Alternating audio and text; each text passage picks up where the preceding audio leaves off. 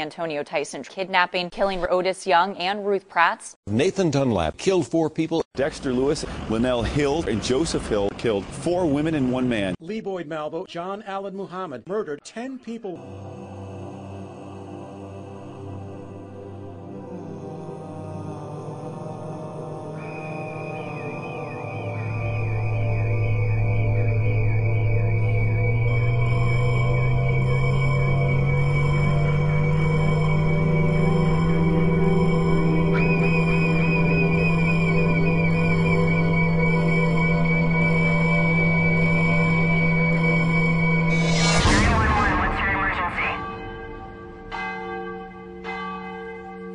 Troy Victorino and Jerone Hunter murdered six young people. Quincy Allen killing Jedediah Harr, Richard Hawks, Robert Roush. Anthony Farrell brutally murdered five. Gary Martin killed five people. Anthony McRae killed Brian Frazier and Alexandra Verna. Daron Dylon Wint murder the Savopoulos family. NFL player Phillip Adams shot and killed the six people. Brian Nichols killed four people, including a judge. Christopher Thomas shot and killed two women and eight children.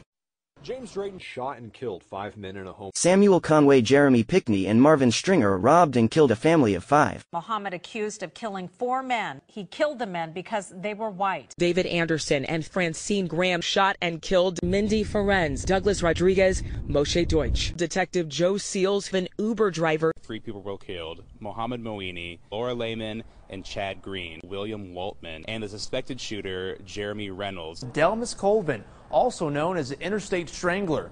Colvin claims he killed around 50 people. 39 year old Daryl Brooks will be charged with five counts of first degree homicide. Billy Chemirmir is accused and suspected of committing.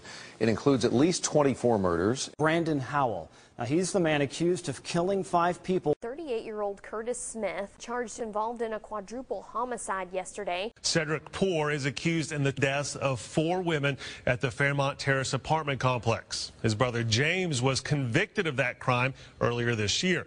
Frederick Scott accused of killing Michael Darby, John Palmer, David Lennox, Timothy Rice, Karen Harmeyer, and Stephen Gibbons. Colin Ferguson fired off 30 shots into a crowded Long Island bound train, killing six people and leaving 19 injured. Omar Thornton moments after he shot eight of his colleagues in cold blood. Charles Cookie Thornton shot and killed five city officials and wounded the mayor who later died. DeWayne Craddock gunned down his colleagues. 12 people killed in a mass shooting. Jonathan and Reginald Carr. The Carr brothers were sentenced to death for the four killings, including robbery and rape.